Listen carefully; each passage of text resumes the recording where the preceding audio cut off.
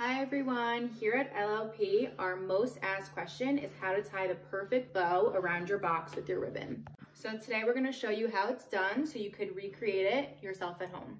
The items you'll need is your box, your ribbon, tape, and a pen. Today we're gonna be showing you how to tie the perfect ribbon. You could do this on any box, but today we're using a Dior box.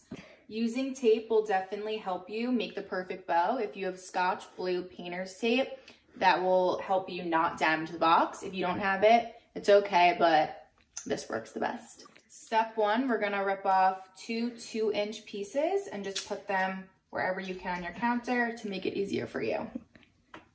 Next, when you're starting the ribbon, just make sure the logo on the ribbon is facing the same way as on the box, like this.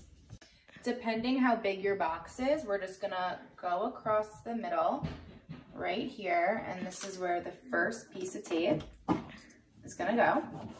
Then you're gonna take this piece, you're gonna go down like this, and put the next piece of tape.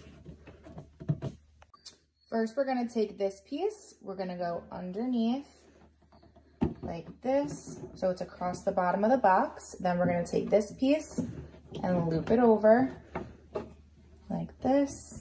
Make sure all your ribbon is flat like this to the box, crossed over.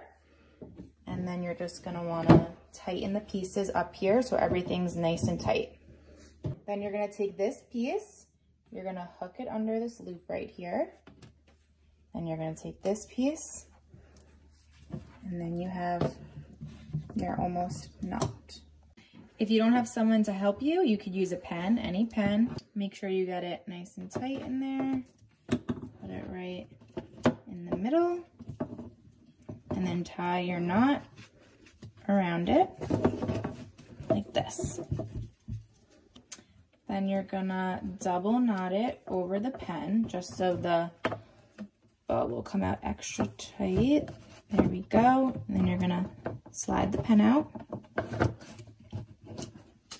like that. And then you'll have a nice knot. Then you're gonna tie a bow however that may be.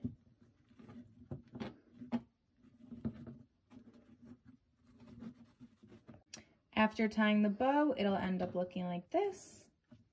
If you don't like it this way, or you prefer it to be up in the corner, you could always do that.